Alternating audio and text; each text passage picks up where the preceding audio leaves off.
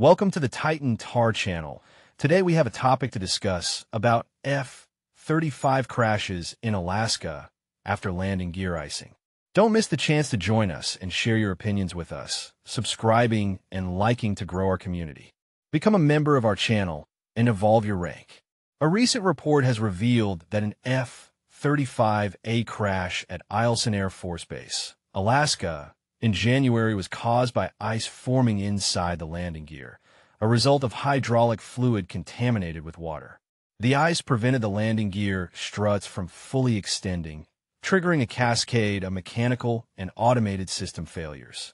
Complicating the incident further, the F-35's flight control software incorrectly interpreted the aircraft as being on the ground while it was still airborne, rendering the jet uncontrollable. Fortunately, the pilot ejected safely, suffering only minor injuries, but the aircraft was destroyed, costing the Air Force approximately $196.5 million. The mishap began shortly after takeoff when the F-35's nose landing gear failed to retract fully due to ice buildup, leaving it canted 17 degrees to the left. The pilot attempted to address the problem through a series of touch-and-go landings while consulting Lockheed Martin engineers.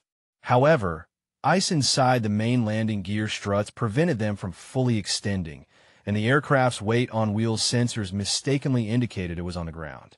This caused the jet's automated flight control system to switch to on-ground mode, severely compromising its stability and ultimately leading to the crash sequence captured in a viral video. Investigators detailed how the F-35's sophisticated landing gear and flight control systems while advanced, can become vulnerable in extreme cold conditions. The NLG's centering cams and uplock hooks rely on proper strut extension, and ice prevented them from engaging correctly.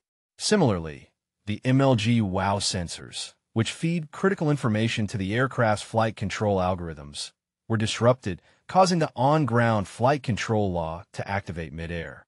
This incident underscored how even minor hydraulic contamination combined with Alaska's freezing temperatures can have catastrophic consequences on aircraft operations.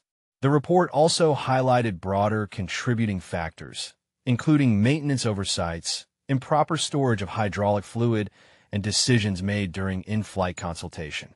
While the pilot's actions were ultimately heroic, the investigation noted that more informed decision-making awareness of prior sensor issues, and adherence to maintenance protocols could have prevented the accident.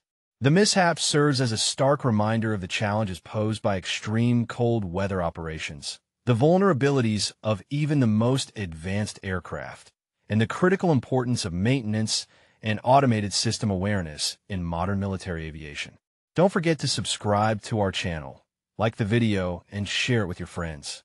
Your interactions mean a lot to us and help us grow. See you next time.